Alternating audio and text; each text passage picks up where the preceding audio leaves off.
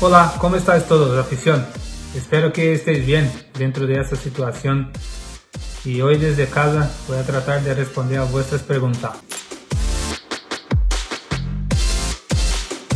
Bueno, meter el primer gol eh, con esta camiseta eh, ha sido una sensación muy, muy especial, un momento increíble en mi carrera y bueno, meter el primer gol con esta camiseta y, dentro de Mestalla, entonces ha sido una sensación muy especial. Esta temporada está siendo mi mejor momento, eh, uno de los jugadores de más minutos, eh, entonces para mí más importante está siendo ahora y con la posibilidad también de jugar con la selección española eh, entonces creo que vivo un muy buen momento con esta camiseta. El DJ, eh, Rodrigo, Rodrigo siempre pone las, las músicas en el vestuario antes de entrenar, el día de partido también, y así cuando no está Rodrigo, yo me encargo de, poner las la músicas lo, más tonto, digamos, de Maxi. Maxi siempre está haciendo un broma con todos los jugadores, con todos los trabajadores del Valencia. Siempre hace bromas, siempre nos saca risa.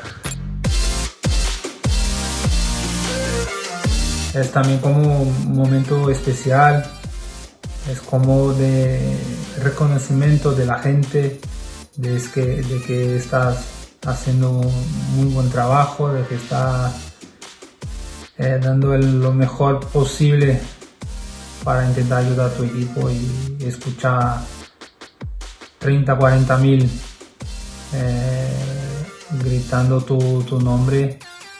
Es una cosa muy especial para mí, para mi carrera, entonces por eso cada día trabajo más y cada partido intento hacer mi mejor y dar mi vida para ayudar a este, este equipo. Yo creo que sí, sí me veo algún día uno de los capitanes del, Valencia. El lugar que más, más me gusta de Valencia, Mestalla.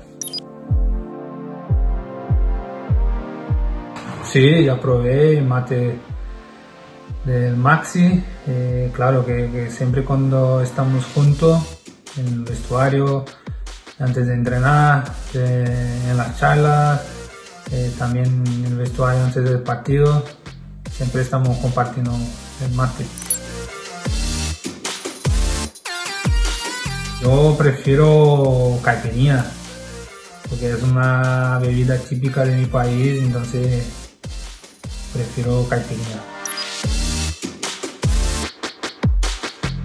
Claro que estamos viviendo momentos duros, momentos difíciles, pero entonces yo en casa siempre busco hacer cosas, eh, jugar un poco con mi hijo, ver películas, eh, siempre buscando algo, entrenar también un poco, que hay que mantener la forma, no sabemos hasta cuándo esto va y entonces tenemos que mantener.